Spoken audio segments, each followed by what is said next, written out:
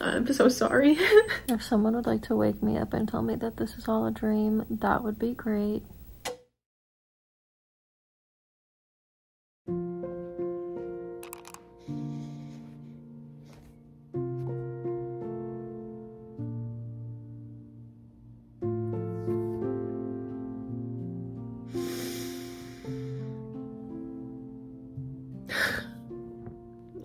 To I wanted to turn the camera on because I care a lot about being extremely real with this whole situation. The room is beautiful, like the bed is so nice. I have my retainers in. I need to take these out. I can't talk and take myself seriously. Uh, there's literally no window in this hotel. It's all like large glass panels that cannot be cracked open at all. I'm claustrophobic.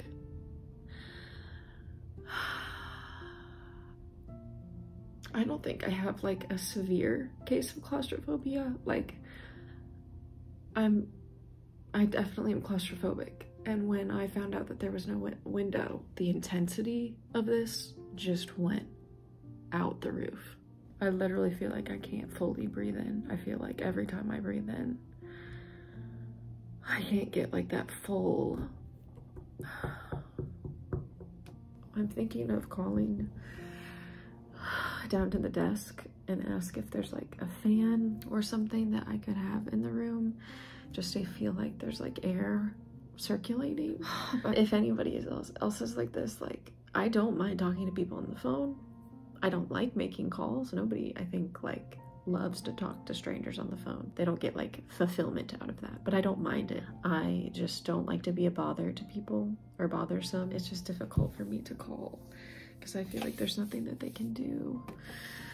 I feel like such an idiot for feeling this way and it's four in the morning.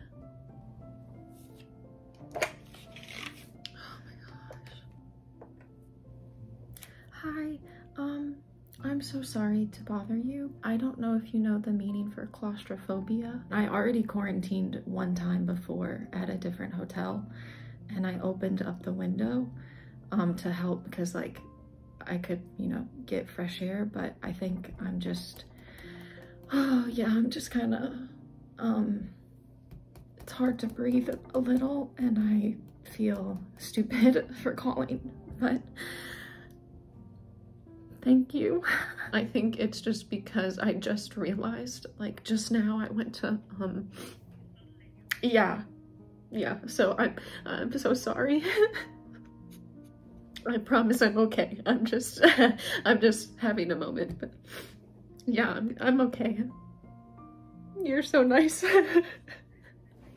Thank you so much. I pro- you're so kind. Thank you. Bye. She was so nice. She was so nice. Part of the reason I was crying is because she's so, she was so kind. It's gonna be okay. It's gonna be okay. It's gonna be completely fine. It really is. She could not have been any nicer. And her English was really good.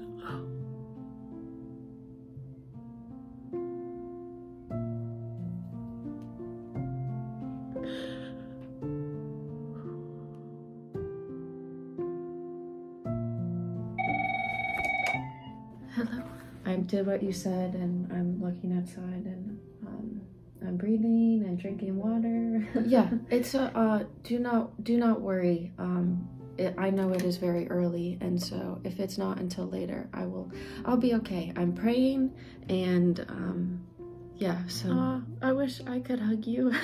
Thank you so much. Bye-bye. The door's not locked. I could technically walk outside and infest everybody with COVID at any point. I would never do that. I'm just saying, it's an option. This isn't very much not what I was anticipating at all.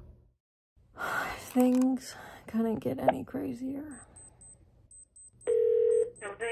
Hi. Suddenly I feel very sick and I have a fever of 38.6. 38.6. Yeah, I have like chills When did you start? probably like three hours ago. Okay, then I will, I will ask our medical team and uh, could you waiting for a second? Yeah, that's okay. If someone would like to wake me up and tell me that this is all a dream, that would be great.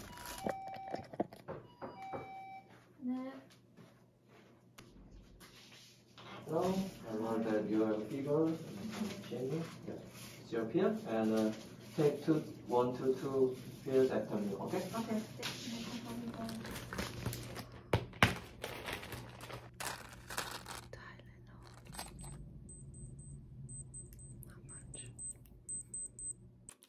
Feel horrible. I just slept for 12 hours. I can't believe we're only on day two. And all of this has happened. Honestly, I probably slept for almost a day because I woke up, felt like crap, and anytime I felt like crap, I would just like force myself to eat a little bit and then I would just go back to sleep, eat something, take the medicine, and then just go back to sleep. And I did that on repeat yesterday.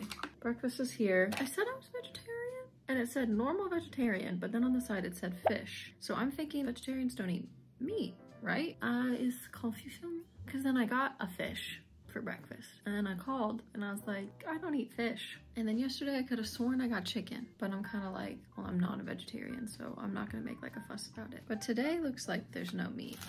Yeah, it just looks like tofu, mushrooms, and then here we've got like spinach, beans, potato, and cucumber, some vegetable, rice, milk, and a yogurt. It's just really hard because in my mind, I was definitely thinking about the food that I got last time and like preparing myself to be consuming a lot of fruit. And this actually, it maybe doesn't look the prettiest, but it tastes often really, really good. It's just hard because I had this expectation of like, let me bring all this like junk food and then I'll eat really healthy for like the meals. Obviously this is more healthy than like only eating tonkatsu, which is the like fried pork cutlet.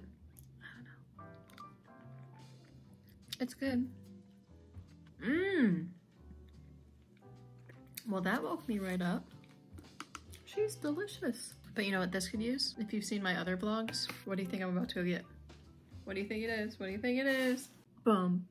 Ba-da-da. Bum, bum, bum, bum. Yes, the pot came. Are you surprised? This was the best purchase I'd ever made in my entire life last quarantine. And it still is. So let's turn this baby on. It really just doesn't look very good. It's not my favorite. I'm really not eating much of like any of these meals. It's probably because I don't feel well. Yeah, Megan, you're still freaking sick.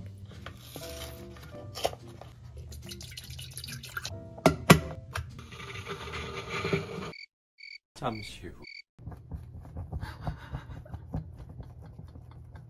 Today has been a mess. Don't put milk in the kettle. Well, at least this kettle at the Hyatt because that thing gets hot in like 0.5 seconds. It burnt it to the bottom of the kettle. So I've been scrubbing to get that off.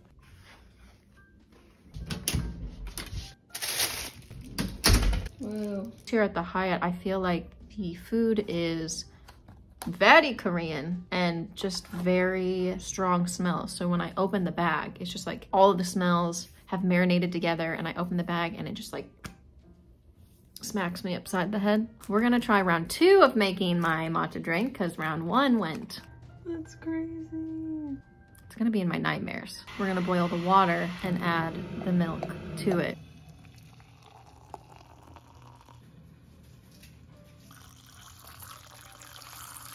such mess.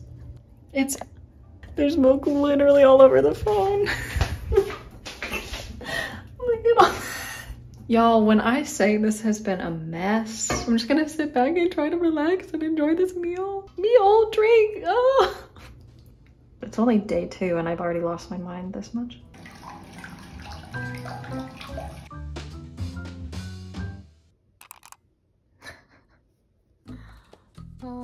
Basically slept for 36 hours.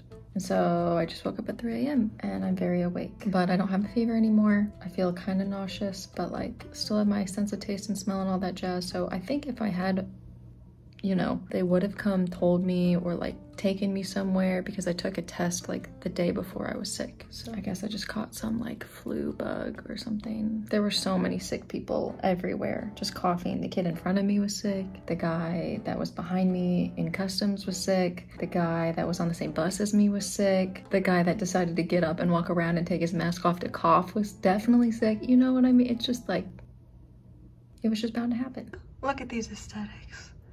Freaking airplane and the sun. I've never seen a sunrise like this. It is significantly lonelier in this location because there's no announcements. They just bring the food, drop it off. They don't announce that it's there. They don't come take midday temperature checks like they did at the Marina Bay. You really just up in here by yourself 24 seven. I'm like about to call down the front desk and just say, oh, how you doing? Having a good day? Just to hear another human voice. And now Megan will begin a scientific analysis of the not-so-vegetarian cuisine offered here in prison, I mean quarantine. I truly have not been hungry the past few days just because I've been sick, but this, like egg, I mean, I don't know what a lot of it is, but the star of the show right now is this nanner because I have been wanting a banana so I've just been wanting fruit. That's all I've been wanting. I'm so excited to eat. I'm starving right now. Is that what I think it is? Oh, it is. It is. I thought it was a baby egg roll. It is. Okay, I gotta put that in the pot. I'm so happy. It is very convenient that they have a 110 volt plug here because then I don't have to worry about converters. And I'm also all about the fact that they give us milk, especially because this is soy milk. I think this is like pasta. I really don't know. I don't know what you are. These, these may have solidified to the roof of my mouth, but they're fire. Also fire, mystery concoction. Also fire after putting it in the pot because she is cold. Very unexpected. I'm very much, we are here for it. Here for it. Like, it might look whack, but I bet it tastes bomb. It freaking does. What? How? This has banana in it banana next to kimchi, pickled radish, and japchae. We threw some banana. I disagree, but yeah, I just disagree. I disagree. I can already smell it. Pro tip, I literally have been holding my breath when I open up these now because the things inside are good separately. But when you like put them in a crock pot and let it marinate together, the smell is not my favorite. So I started holding my breath as I open the bag. We put everything on the table and then we address. Okay. This is the guy that smells the worst because these are four different smells hugging each other, close together. Yeah, I'm definitely not getting vegetarian because that's as chickeny as it gets. I'm a little scared. Idea, I'm going to cook some of my ramen noodles and put that on top. You guys, I don't even know what it tastes like, but I'm very excited. Yes, yes. This is why the pot is the best, is because it gives you the opportunity to be creative. We are so freaking here for it. The nose did go up pretty dang high. I realize I never gave you guys like a room tour. I quite literally have no idea what I'm supposed to do. That was horrible.